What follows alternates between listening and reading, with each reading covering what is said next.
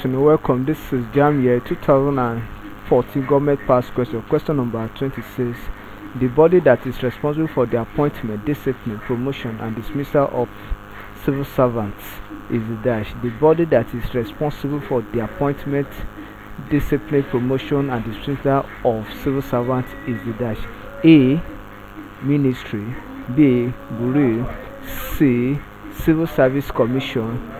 D. Ministry of Labour and Productivity. This the body that is responsible for civil servants in respect of appointment, discipline, promotion, and dismissal is the Civil Service Commission, which is option C. So option C is correct. Thank you, and ensure you subscribe for more videos.